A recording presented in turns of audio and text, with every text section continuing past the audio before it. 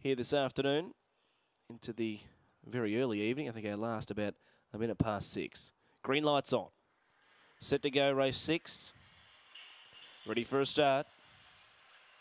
Set. Away and racing, good even line, hard to pick an early leader. Derry Girl away well off the inside. Detroit's going forward, cold that night. Derry Girl the rail, wider out as Hillbilly Lass. Then where's Leslie for the back in the field? Lucky one, Aussie Savannah, and two away to centre forever at the tail end of the field. They race down the side, and it's Detroit in front, only narrowly. Cold that night up on the outside. They're stride for stride into the straight. Cold that night. Detroit for the back in the field. Derry Girl. Detroit's kicking on the rail, and Detroit goes home to score a half length to Cold that night. Derry Girl third, fourth, no idea. Aussie Savannah, where's Leslie in a tight go? Then Hillbilly Lass for the back in the field. Lucky one, centre forever, and the time was 25.73. Good fight from Detroit. Number two beats seven, one, and fourth is almost a dead heat between the six and the five. We'll leave that downstairs to the judge.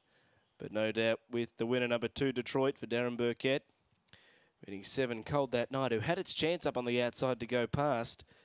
And Detroit, the two favourites, were battling it out down the home straight. And two beats seven, one, and fourth goes to five. So there's a margin found there. Two, seven, one, and